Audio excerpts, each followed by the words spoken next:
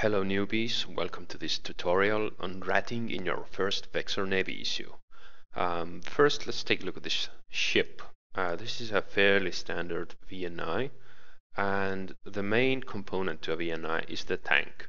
It needs to be strong enough to uh, take all the damage that the rats will do to you. And Gurista rats that are found in Deklein do mainly kinetic damage and a little bit of thermal. So the main thing with this fit is to get these two shield resists very high. And we have here a couple of large shield extenders. These just give a nice 8000 buffer for shield that we can play around with. Here is a kinetic deflection field. When this is enabled, the kinetic resist will go much higher. Then we have a thermal uh, shield resistance rig. This is what makes it 48%, otherwise it's even lower. And two shield recharge rigs. Uh, these, together with these two shield power relays, make the shield recharge pretty fast and should be enough to make sure that uh, it doesn't matter how many rats damage you, you will still uh, charge your shield back up faster. Now, it's worth noting that uh, there are four drone damage amplifiers here. The purpose of these is simply to make your drones hit harder. As you can see I have 645 damage. I'm not exactly sure how accurate this is, but it's around 600. And finally in the high slots I have a drone link augmenter. This is not strictly needed, just uh, extends your drone control range, so it's a bit useful. And also very importantly, the afterburner is actually a tank mod. It's not there to get you around faster. In Eve, when you go faster, you take less damage. And this afterburner cuts many of the damage types yet that you take in half.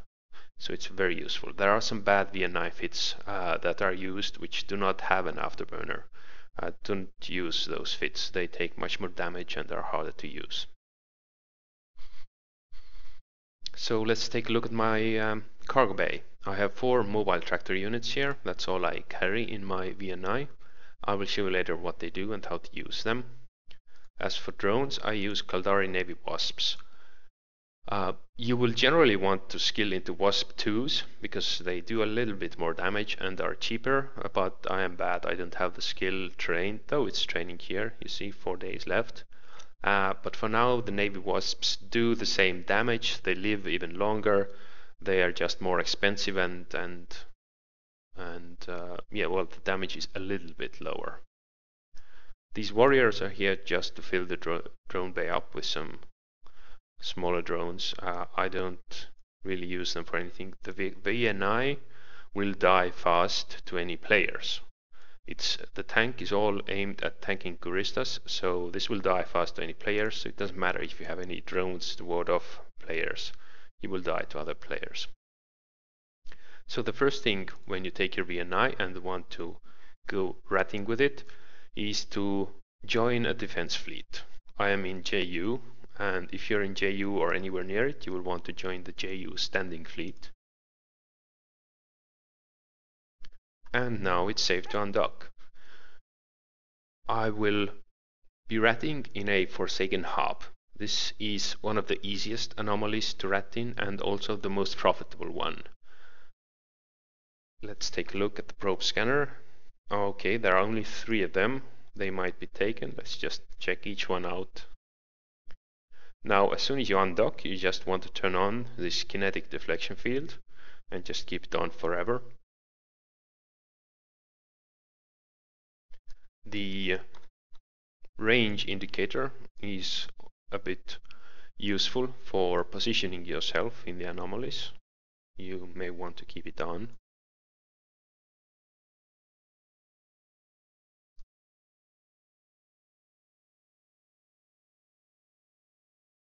And of course there's someone already here. Okay. Right click, ignore, and let's try the next one.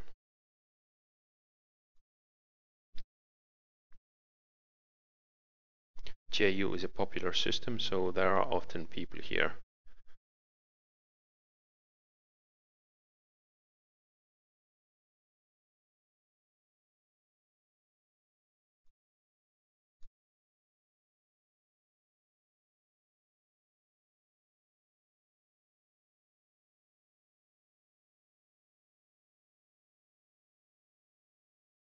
Alright, nobody here.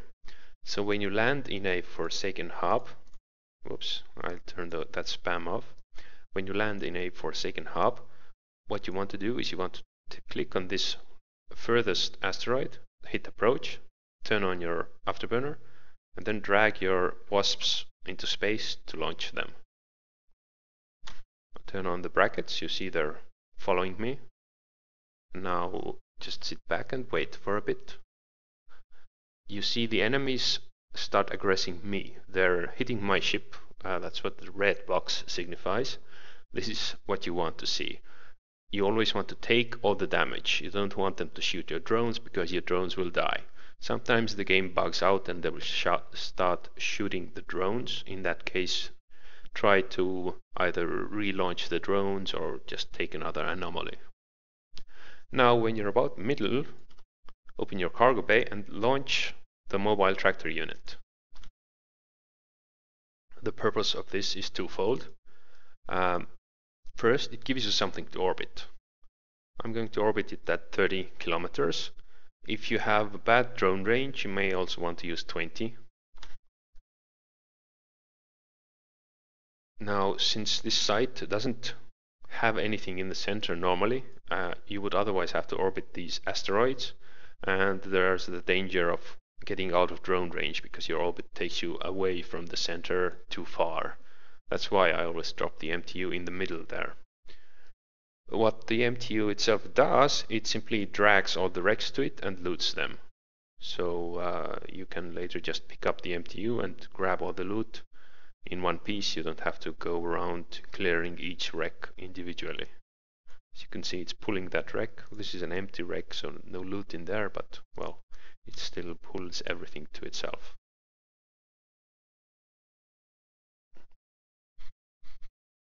As you can see, I'm taking a bit of damage from these rats, but my shield recharge is quite fast, so it's not really affecting me very much at all.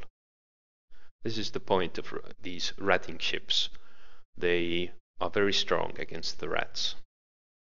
So you just sit here, take damage while your drones kill the enemy ships. What you will always want to do is to have your drone set to aggressive and focus fire. This way they concentrate on one target and kill them in the fastest way.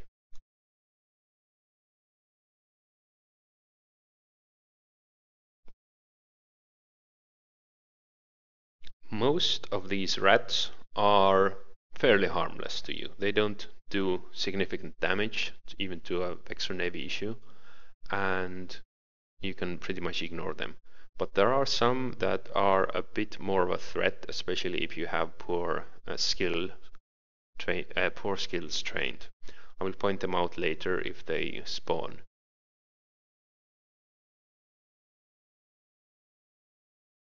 Meanwhile, an important part of all ratting fits is the capacitor. When you start out, your skills will be pretty bad and your fit may not be cap stable. As you can see, I am stable at 11%. This is okay, but if you start out, you may not be stable. It may say some minutes here instead of the word stable. That is bad because if you run out of capacitor while doing uh, an anomaly, then your tank will turn off and you will start taking quite a lot of damage and might even die. So what to do is to train the appropriate skills. For capacitor, there are four main skills you want. Capacitor management and capacitor systems operation are two of them. These both increase the recharge rate of the capacitor. Uh, the capacitor management skill says it increases the capacity of the capacitor, but this also gives you more recharge because the recharge is always a percentage of the full amount. The other two skills are under navigation. First is afterburner. Get this to level 4. This will make the afterburner use much less capacitor.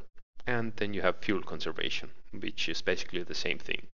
These two together will drastically reduce the capacitor's uh, energy um, capacity capacitor use and should result in your ship being cap stable.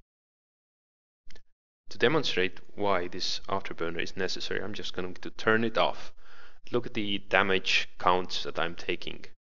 You see them, they already jumped up quite a bit higher. This is because now I'm going slower, I'm taking more damage. You see 50s listed 30s, whereas before you saw 20s and uh, even under 20 damage amounts. So this takes a good deal of damage off me. You can even see my shield starting to go down. If you take a lot of damage, you should warp off at around 25% shield. As the shield gets lower, as it nears 30%, it actually starts to recharge also faster. So don't be scared if it goes to like half damage, that's fine. The recharge is very strong, near 30%, so you probably don't have anything to worry about even if it goes half uh, empty.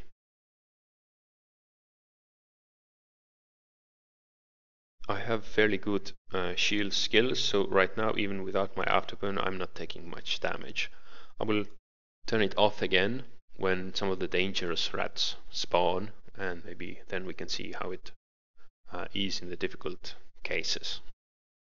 But this here is nothing, just sit back and relax. I can go and make a cup of tea and be completely AFK if I want to be not careful. One thing you always want to do when ratting is you want to look at the intel channel. You always want to see what's going on. Are there enemies coming near you? If you don't know what a system is, they're always linked very nicely, so yeah, you can just click on them and this shows the route. 12 jumps away, I absolutely don't care about this, so nothing for me to worry about. The other one, also 12 jumps, also nothing to worry about.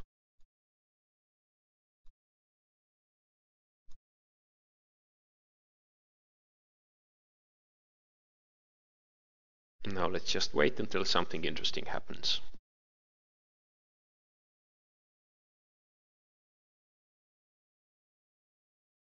There we go, a new wave spawned. And here you see Dire Pithum Mortifier. These are the dangerous ships. Look at the damage output. There you go, 131, much higher than any of the others. This is because the Mortifiers do thermal damage, which is the weaker of the two relevant resists. The VNI is especially vulnerable to these, so you will probably want to kill these manually uh, if they spawn.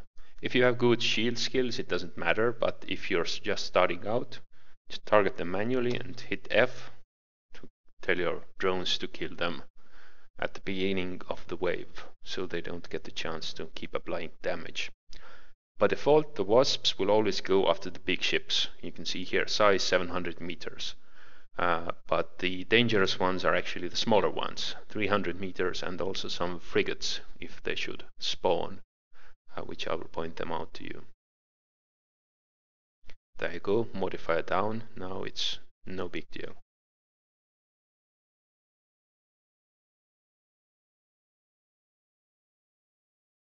Okay, a new wave spawned here. This one also has some frigates.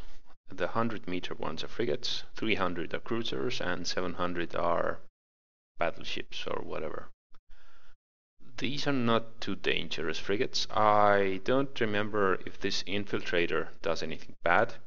Uh, invaders are the ones that uh, are problematic. This infiltrator may try to web or scram me. I don't know. I'm going to slow down just to see what it does maybe we can see. Uh, but when you see frigates, uh, the danger is that they will web you. And as you remember, if you go slow, you will start taking more damage. So if they catch up to you, get close to you within web range, and they web you, uh, that could end up being annoying because you'll suddenly start taking a lot of damage. If you're paying attention and not AFK, then you can just kill them uh, by manually targeting them, but if you're AFK, you may end up coming back to a pod. So let's see, this one is getting close to me. Let's see what it does. They normally have a fairly short range. There you go, it's webbed me. So yeah, infiltrators and invaders are the bad ones. I'm not sure what the Arrogator does. It may be an ECM frigate, uh, but I don't remember it as being annoying. Oh, hello, my drones are coming to save me. That's unusual. Normally they just go after the big ships. Anyway, let's put the prop mod back on and keep going. This is normally done either semi or fully AFK because it's been 23 minutes since I started this recording and it's rather boring, you know, just shooting red crosses here, nothing much to do. I mean, okay, if I'm taking massive damage or something, perhaps I should manually target something, but this is not really the case once you have trained up the skills, so nothing for you to do. Just tab out, keep an eye on Intel, and come back when the site is done. Let's uh, see if anything else interesting happens here.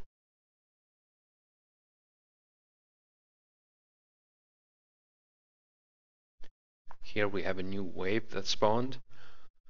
No really dangerous ships in there, but one technique you can use if you are in if you are having shield trouble is to always kill the smaller things uh, or rather the medium-sized things, the 300 meter enemies at the start of every wave.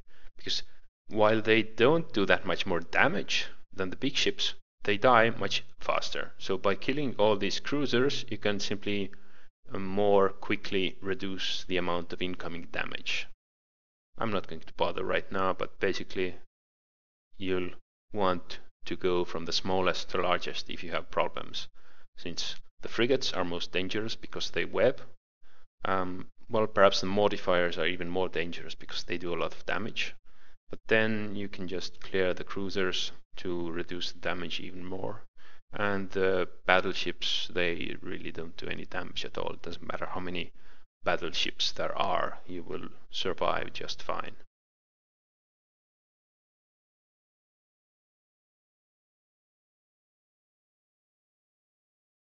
Here's our friendly salvager guy. Um, he asked to he asked my permission to take my wrecks. I gave it to him, so I guess he's eagerly come in while there are still rats in the site. Hmm. Might not be very healthy for him, but oh well. I hope he knows what he's doing. So far they appear to be aggressing me, so he's probably okay for now. Ah, check that out. Ah, okay, this one was just slow. I thought it was maybe targeting him instead. Anyway, I just realized I forgot to do something. When you plop down your MTU, you'll want to bookmark it because you might forget it. You will almost certainly forget it. I just stick it in op1, whatever. And this just means you can easily warp back to it later uh, because you will not be able to pick it up again with your VNI because your VNI is a very small cargo hold and not only do you need to pick up your mobile tractor unit, you also want to pick up all the loot that is in it. And it's just not going to fit here. So what people do is they go around ratting in multiple anomalies, uh, as many as you can fit your mobile tractor units, which for a VNI is four. You do your four anomalies, drop a mobile tractor in each one, and then come back with an industrial ship with a large cargo bay to just pick them all up and together with the loot and then just repeat until you get fed up with it.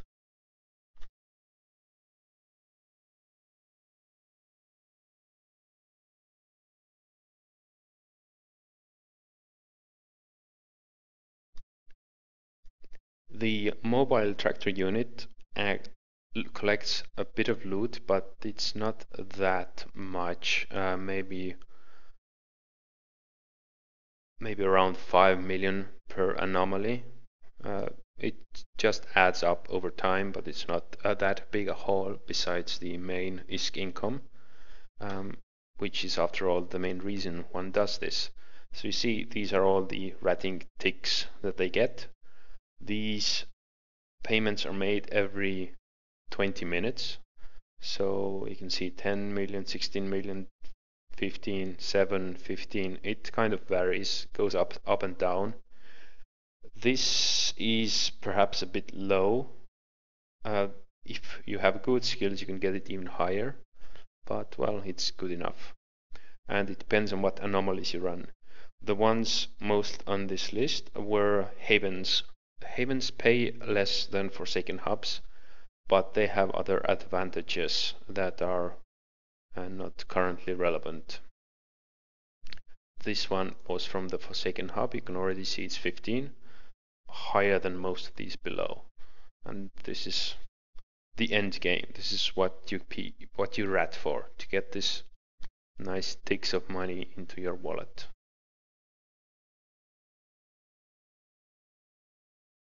Ooh, the salvager guy is back. He still likes salvaging with the rats in system.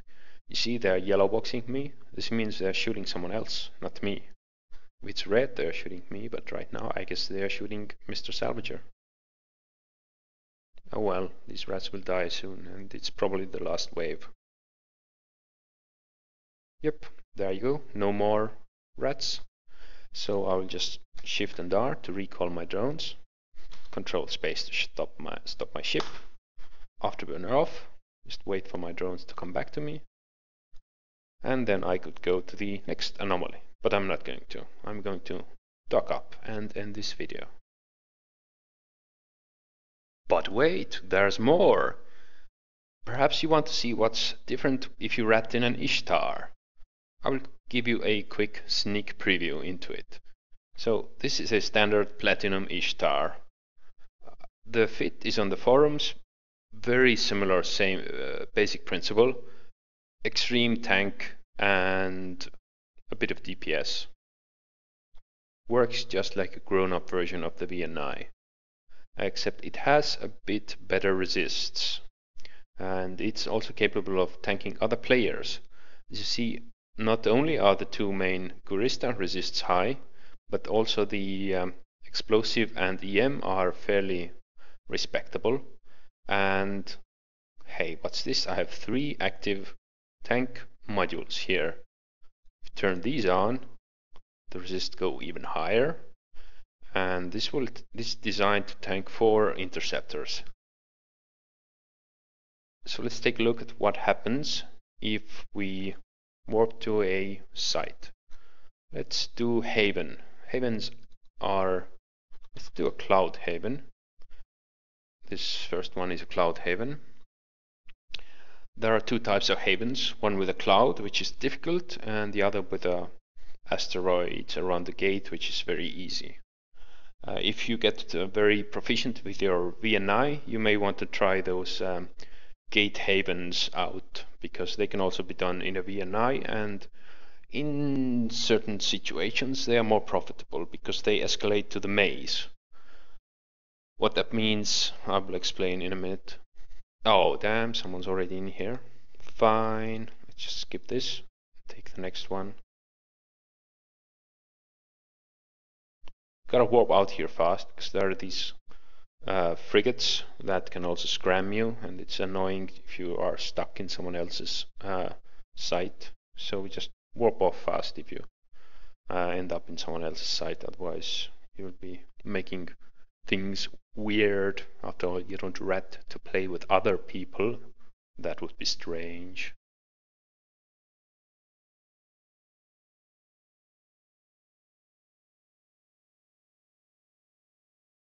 Alright, this is a clean anomaly, nobody else here.